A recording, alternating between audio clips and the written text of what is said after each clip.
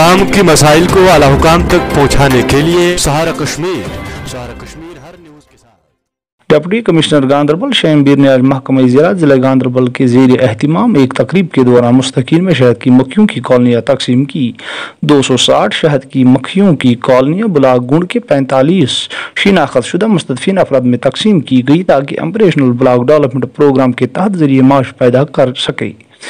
इस्तीफाद कुंदगान के साथ बातचीत करते हुए डीसी ने इज्तमाही खास तौर पर बेरोजगार नौजवानों पर ज़ोर दिया कि वो आगे आए और महकमे की मुख्तलिफ़ रोज़गार पैदा करने वाली स्कीमों, मसलन मछली पालन कम्बी की काश्त महफूज सब्जियों की काश्त और मशीनी खेती के तहत फ़ायद हासिल कर सके।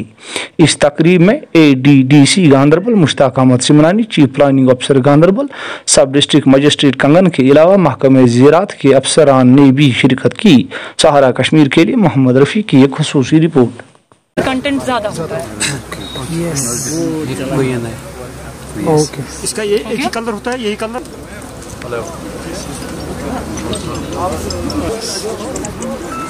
पता है ना क्या है ये? क्या है ये? ये कौन? क्या? यानी मिली इसकी? पहले भी रखते थे या अभी मोहम्मद असलम बाबा। मोहम्मद असलम बाबा जी। मोहम्मद असलम बाबा। आप पहले से करते हो? कुछ नहीं खेत में कुछ होता है। ज़मीन शेयर ज़मीन है। उसमें क्या होता है? आपका यही काम है है ना? कम कराना।